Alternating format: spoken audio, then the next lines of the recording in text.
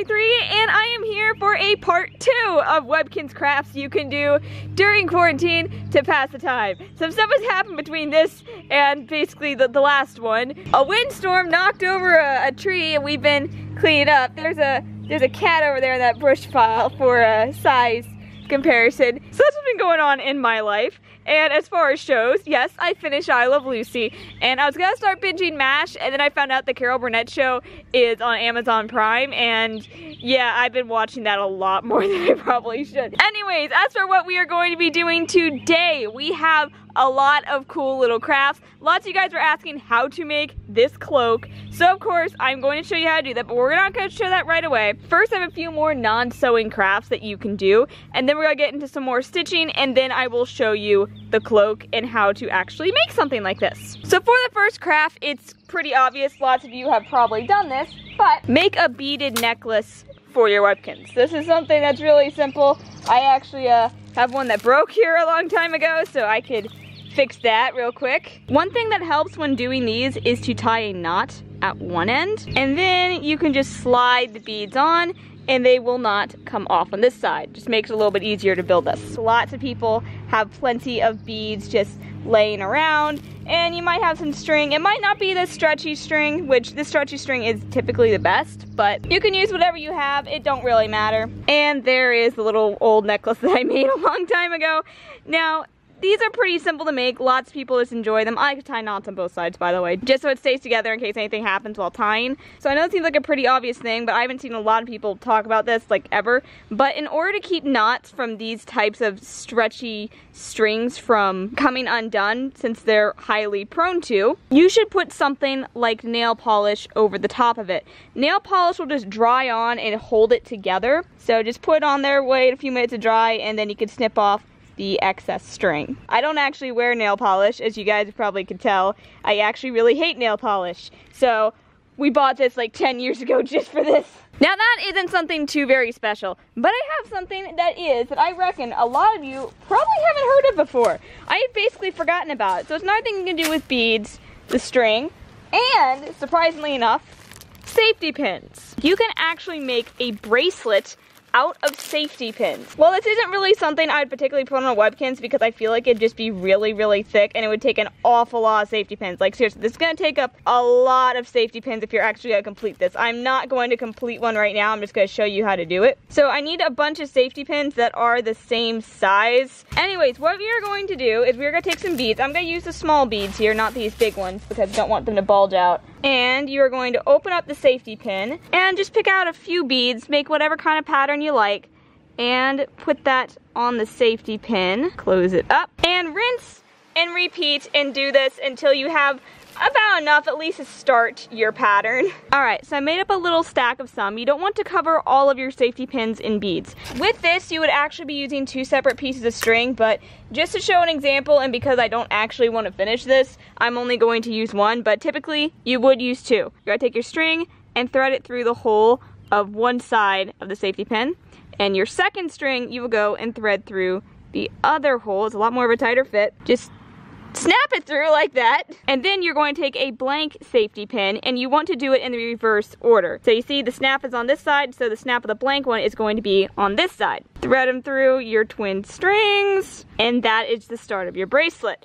And then you just keep on going in that exact same pattern. You can also do this with any size safety pin you want. It's just gonna change the thickness of the bracelet and how many beads you're gonna have to use to fill it out.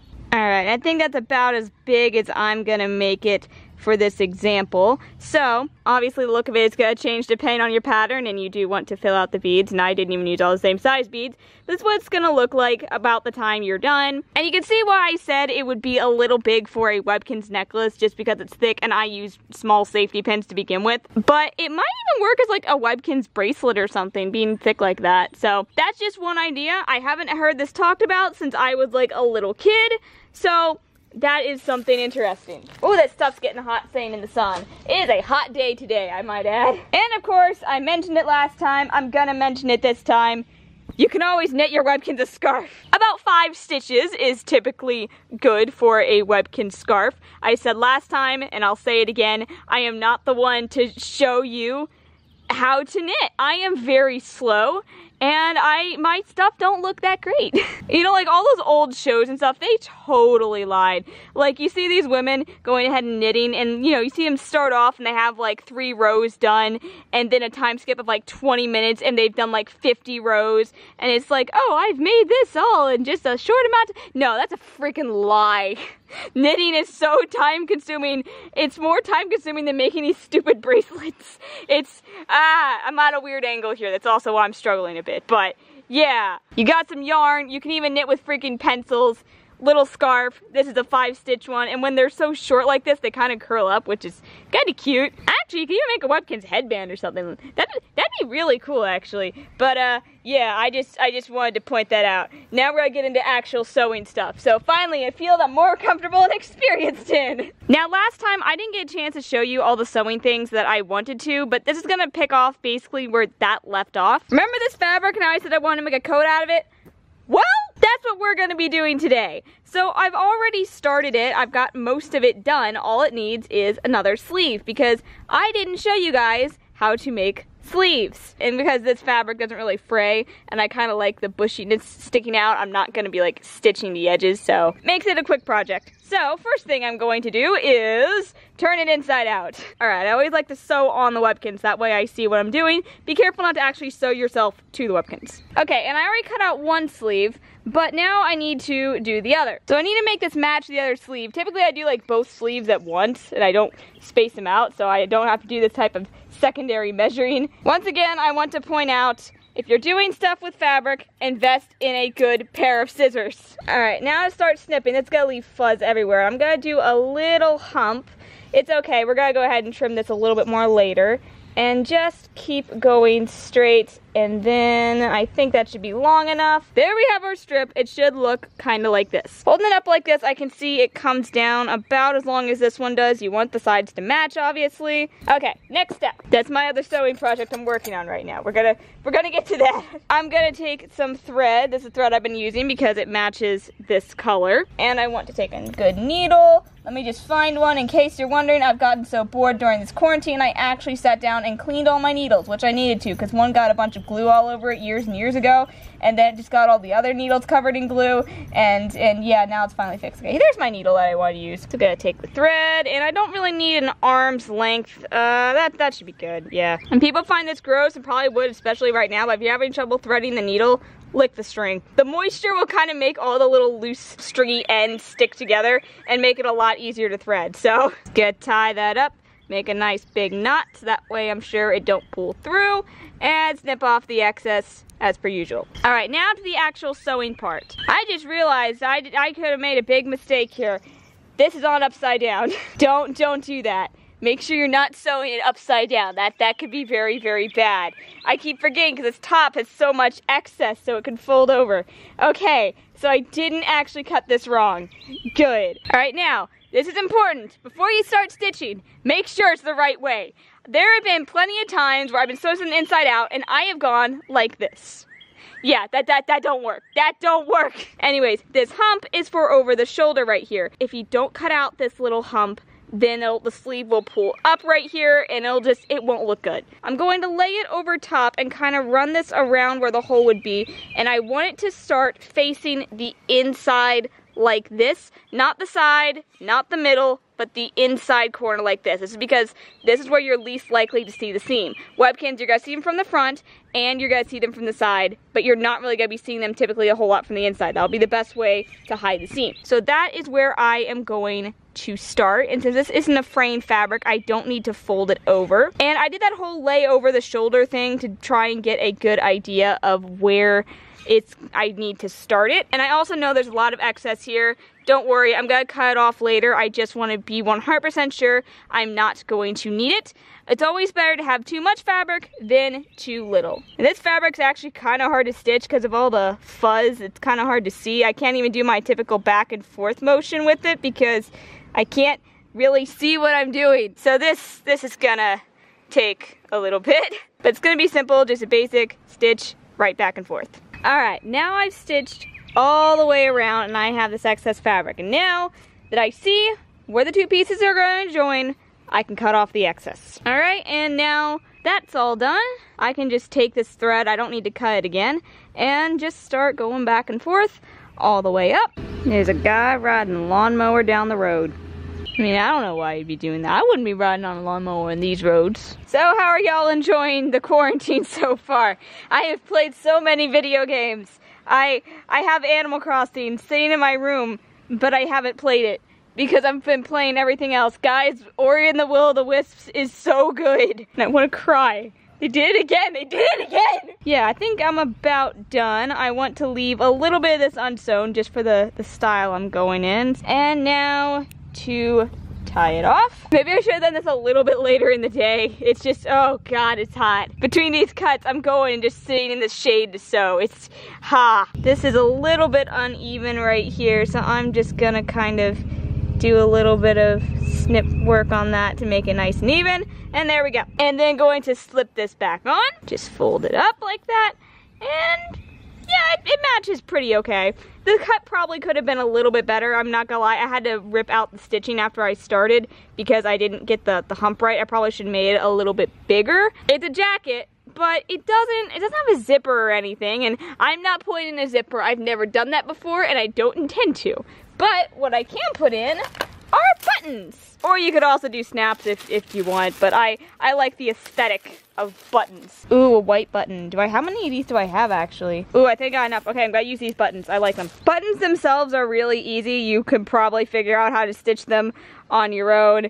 There's nothing to them, honestly. I'm gonna straighten out the cut a little bit on this first though, because that, that kind of frays out a little bit and I don't, I don't want that. I'm kind of shaping this as I go in case you haven't been able to tell that already.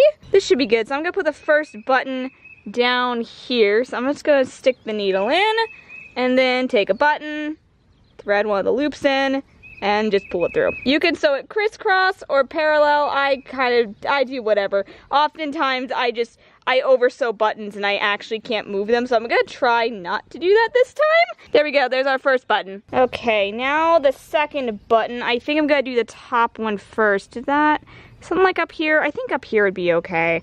If I don't like it, I can always take it out. So button number two. And I always like to do the top and the bottom ones first. That way you can perfectly align the middle one. Just try to make sure they all match. That's the important thing. As soon as I cut the recording, I realized I changed my mind. I don't want them this close to the edge. Normally I would, because when you're doing buttons, typically you would take the scissors and then you'd fold over and make a little incision and pull the button through. I'm not doing that with this jacket today. Instead, I'm doing something I've never done, but I'm excited to try it. I'm going to take some embroidery floss and make little loops around it. Now that's what these bigger needles are actually for. They're not to be easier to thread. They're they're for like stuff like like this. I think I'll be able to thread this through. I think I I think I think I gotta look at it again. Ha ha ha ha ha. No, no, go through, go through. Come on. Just there, yeah, I got it through. All right, now to do this, I'm going to tie a knot at one end. We're not going for the double loop thing because we don't particularly want that here. This is already gonna be a challenge. So I'm gonna line it up here and I want to come up about right here. That looks right and then just pull it up. And then I just got to go ahead and thread it back down a little bit higher to make sure it's not in the same groove. And now I can unthread the needle. Okay, now how much of this do I actually need out for the, you know, some, that, that, that, that amount should be good. So now I'm gonna just tie it off. And there, I made a little button loop. And now, hopefully I can get the button through. Moment of truth. Yeah, look at that. Oh, that's cool. Okay, well, I'm gonna do that again. I'm like so proud of myself over something that I knew was very well possible and very easy to do. That's one thing, you just get creative, do whatever, you know? All right, ow. Oh, I just poked myself. Okay, that, that happens. Some people use a thimble or something. I've never used a thimble. They're annoying. They fall off your finger. They're not comfortable. Why would you ever even bother with a thimble for crying out loud? And there is number two. All right, really cool. I like how that looks. I think that's genuinely interesting. And I'm gonna get the third button later since I don't want to spend too much time out here in the sun. This is Oh, God. Poor Tasha wearing this furry warm coat when it's like, how hot is it out here actually? It's 74 degrees. Oh my God. It's, okay, it's gonna, it, it's gonna go down. in like four hours. Okay, now after a little break to let it cool down some, we are going to be continuing with the sewing for the part that you guys are probably actually wanting to know about, and that is how to make this type of cloak. Now this is actually pretty simple. It's basically just a square with a hood and some trim. The overall shape of it is not very complicated. This particular one was made from satin. I just wanted the shininess of this.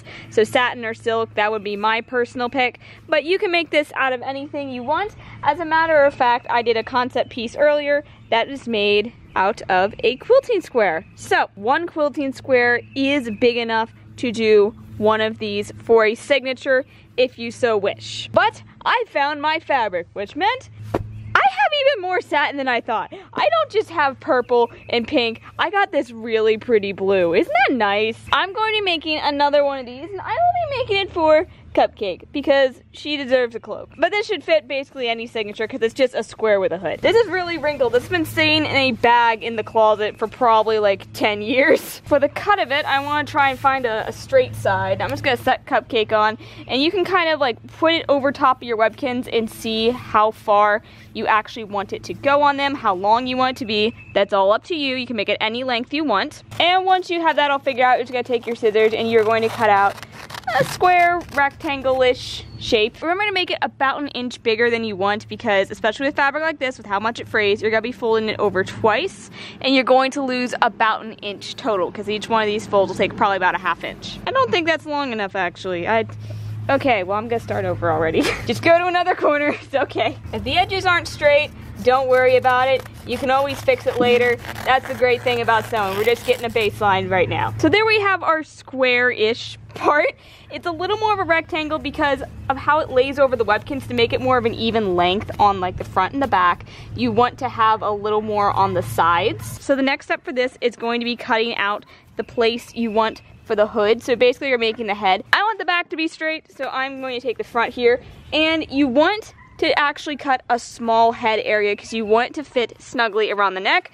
That was something I learned when I did this concept piece, which you can see the neck area isn't very snug, and if I lay it over Cupcake, Little Red Riding Hood, but it doesn't, it doesn't fit very well around the neck, and it kind of lays down like that. You see how it lays? I don't particularly like that. So that's why you want to be small. To actually get this right, I cut out a small piece of cardboard and used it as a guideline but I don't have that small piece of cardboard anymore, so I'm just gonna use this little thing of ribbon. Ignore the sound of the chainsaw, my dad's cutting, cutting wood. And so I'm just gonna use this as a rough guideline, kind of, and get a circle cut out. And we're gonna even it out later. We just wanna get the right shape. So that made about like that. And, all right, so the width is right. You can see how it comes nice and snug to the back of the neck, but it needs to be a little bit deeper because, you know, when we fold this over, Otherwise, this isn't really gonna connect very well, and we want it to connect. So I'm just gonna make this a little bit deeper and go about an inch deeper and see how that looks. Oh yeah, that's that's much, much better. Okay, it's nice and tight around the neck, because remember, we're going to do the double folding over, so it will come a little bit further away from the neck, but I say that is our cape basically done. I mean, obviously when you saw I fold it up, it doesn't quite line up perfectly. So I might want to go ahead and just like snip off this little bit of the tail to straighten the edges. That is the main part of your cape. Now the hood is trickier. I'm not gonna lie, I hate doing hoods. I think they are one of the worst things on the planet. Hoods are awful. they take up a bunch of fabric too. So actually, this part I cut out earlier that I didn't think would work, that might actually be perfect for this. So I'm gonna take this fabric and kind of just lay it to the point that I want on the Webkinz. And you want plenty of excess, because see, when I made this, the stitching goes nice and snug against the neck. However, I wanted some looseness so it kind of would fold over. That's one of the reasons I wanted this satin fabric, because it folds a lot easier than something like this. But once again, I'm gonna cut this a little longer than I want it to be. I just like having that excess to work with and I don't really need all this slack back here. I'm just gonna kind of cut a circle. You probably could just fold this in half and cut it, but I'm not gonna be doing that right now. We're gonna do a lot more cutting after it's off the main piece, just to make it easier. And that is the start of our hood, and now comes a lot of pinning. So obviously I wanna leave plenty of an area in the front here so that way, you know, we can be folding it up. And I'm actually not entirely sure I cut this out big enough. I probably should cut a little bit longer because I forgot about one thing. This little bit of stitching at the top, you might think, oh, well, I can just stitch up the back and I won't need to cut the top. Then it won't lay right. You have to stitch it all the way through. See this? This part right here, it's not there's cut fabric. This is not holding anything together. This is just keeping the crease because otherwise it won't lay right. But I am going to start pins. So I don't actually know anything about pinning. All I know is needle. And from here on, you just do what you want. I don't know if I'm gonna go the same style hood I did this. This one, you can see it has a point. I did that because it's meant to be kind of like a wizard robe in a sense. Because I actually based this design off of Merlina from Sonic and the Black Knight. And she's the royal wizard and stuff. And she kind of has a robe like that. I say kind of because the only thing that's in common is that this is the color. So you can pin up in any shape you want. This one was meant to be like a wizard's cloak this is just meant to be a regular cloak, so I don't think I'm gonna do the triangle. But if you wanna do the triangle, it's pretty simple. Pin it kinda like this, make, make a right angle. So this is where my pinning left me. This nice, gentle curve like that, because I don't want a flat spike. So, now what I'm just gonna do is I am just going to take the scissors, and actually I think I'm gonna take this off real quick. Just just to be sure I don't accidentally clip Cupcake. And it's not even, again, for crying out loud, I really, this is like the third time this has happened. I keep pulling it off to cut it and just gonna move a few pins to even it up a little bit and just cut in a gentle curve around the back of the pins and there and I'm just gonna kind of go straight off here and leave the shaping that part later. Now I'm gonna get all these sharp pins off before I stab myself again. And that is the basic shape of the hood. Now let me see how it lays. I think that'll be quite nice. Okay, now I can go ahead and shape it up a little bit. So the hood part itself ends here, and I realize this is unevenly done, which is not a very good thing for me, because I don't want that, but uh, I didn't leave enough slack. This is kind of why you want more slack, but it's it'll be okay. And I'm just gonna kind of round this off a little bit more. If this would stop folding, you know, I'm just gonna do it one piece at a time. I had to use satin, but I forgot how slippery satin was. Oh boy. That still has a lot of overlay, but if after we stitch it, I kind of want to lay over a little bit, this will be fine. So if you don't want to do all the pinning up work, this is the basic shape of the hood, and this part here should be like a triangle if you are going for a style more akin to this. But now we actually have a little bit more shaping to do with this piece here because we don't want to just wrap around and end in this corner. If we want it to be kind of like this and flow more evenly, snip off a little bit of the corner and kind of just round it out a little bit like this. So that way the hood flows in. Of course, this part is optional. If you want to be tight around the neck the whole way around, you don't have to do this. And there is our basic shape. So that's the cutout. Now all that's left is the sewing. And I like to actually stitch the hood first. So I am going to start off by doing that, of course, making sure it's inside out. Then, oh goodness, I actually don't have much of this thread.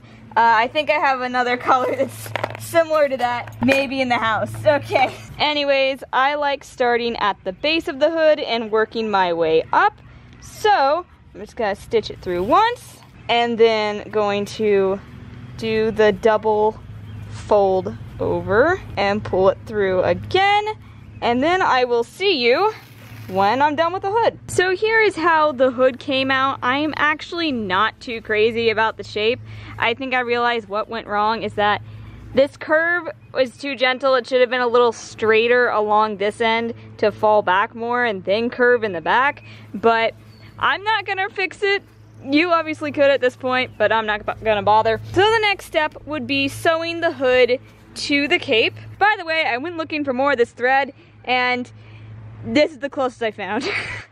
so uh, I don't have any other dark blue. This is my second darkest blue. All the rest is sky blue. Why do I have so much sky blue? I can use the purple. Anyways, you might notice the hood has a lot more fabric here than this does and that is okay that's actually kind of how I made this it does make the stitching take longer but I think it looks okay so to start off I'm going to take the corner where we see here and I'm going to kind of line it up. Basically, you want this to be a continuous straight line virtually. That's the goal of what I'm doing here. And then once again, I'm going to take my needle, thread it through, then fold it over twice so it hides the seam, and then pull it through once again. Actually, I made the same mistake again. Hold on, I made this mistake several times when I was making my own hood. Okay, when you line this up, you might want to do a test fold to see if it actually lines up where you want.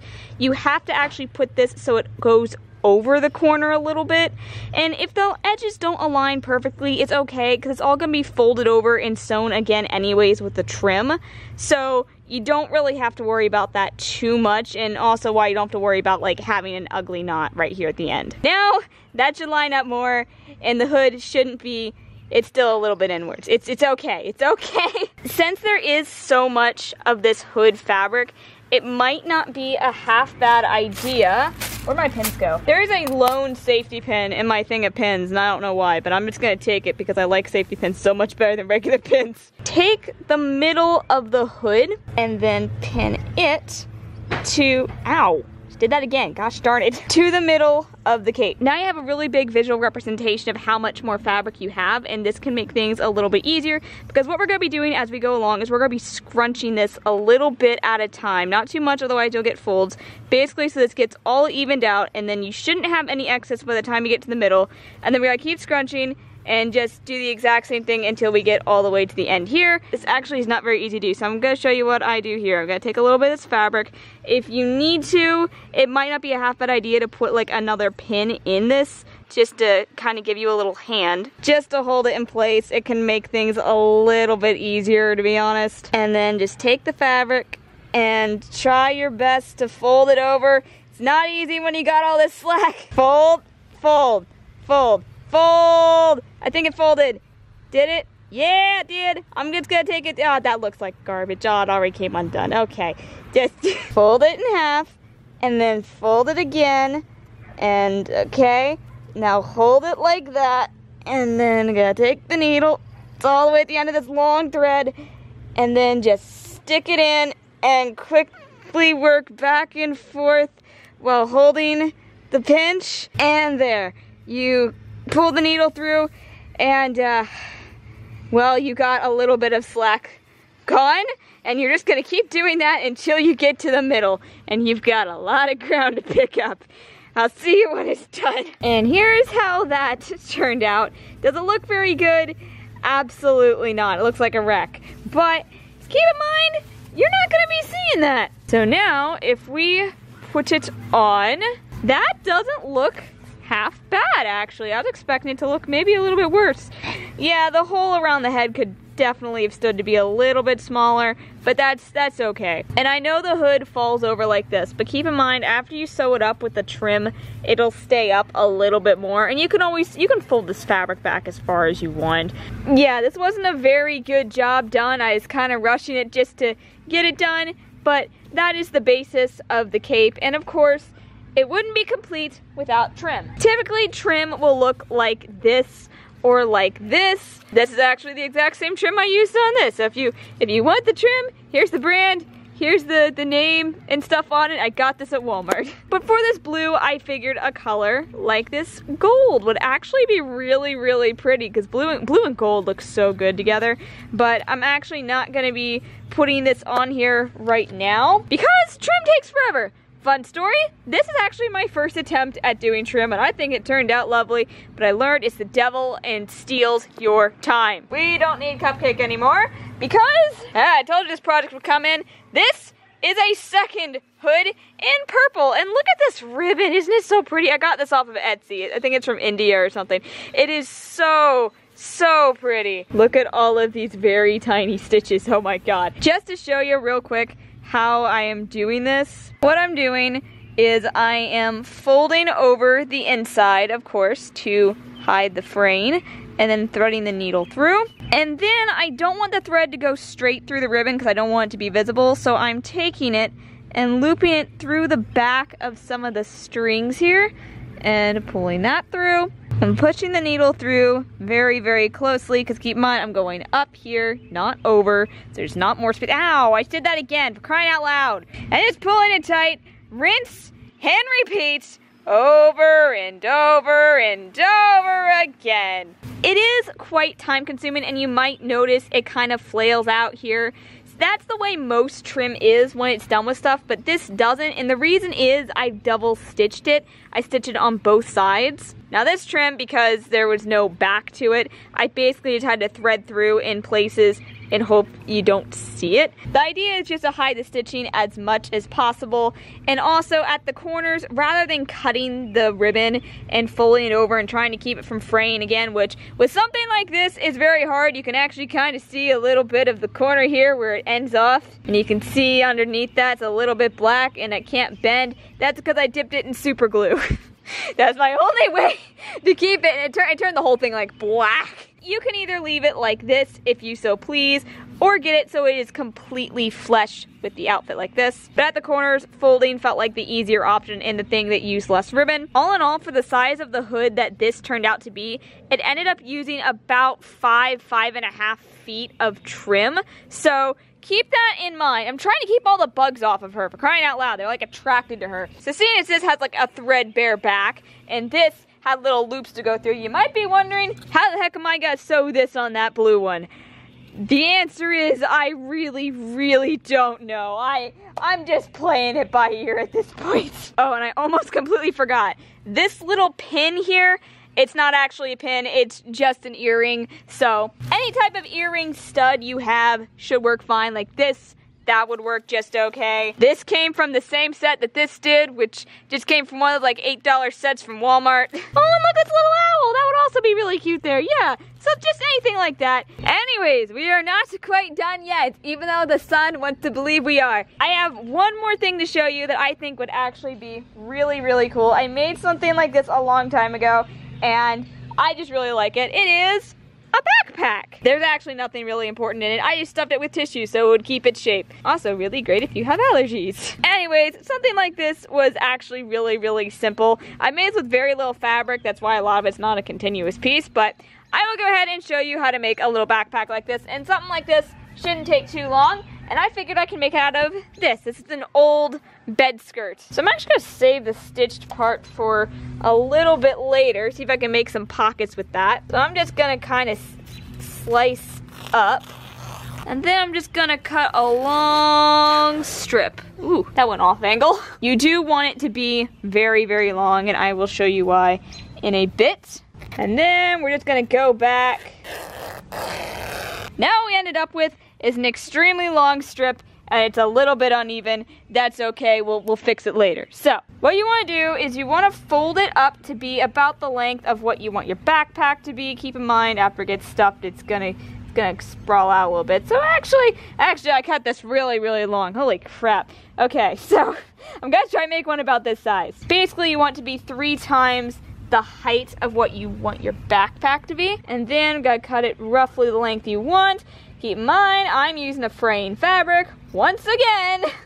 So I'm gonna have to double fold. And that is the start of our backpack. Next, what I am going to do is with our front piece, kind of round it off just so it has more of this type of look. Of course, you don't have to go all the way down if you don't want like a knapsack kind of look like this, but I do. I like it, I'm a sucker for that kind of stuff. It has gotten very cloudy now.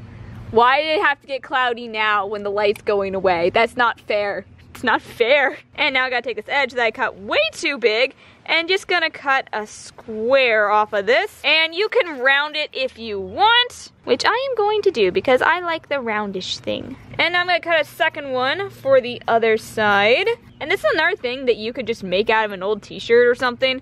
It's a lot of fun actually. This stuff, this stuff is so useful. I love this backpack so much. And that is like all the pieces that we actually need. Now, we can just get to sewing. This one also has the stitching on the outside just so that way you can see it for the aesthetic. I, this was like done with the very little bit of fabric and the last of that color of thread. So I was like really pushing to get it all done with that. All right, now we're gonna take this and flip it inside out This is, in, yeah, this is the outside. And I'm gonna take one of these sides and we're gonna match it up at the base corner.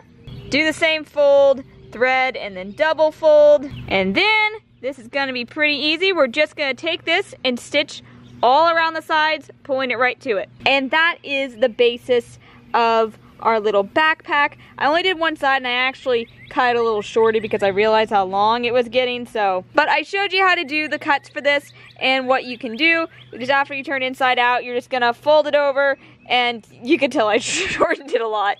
As for the straps, something like this, you could just take string, you could take some of this exact same material and just fold it into a little log and sew it and use that for straps. Or you could crochet something if if in you feel like it.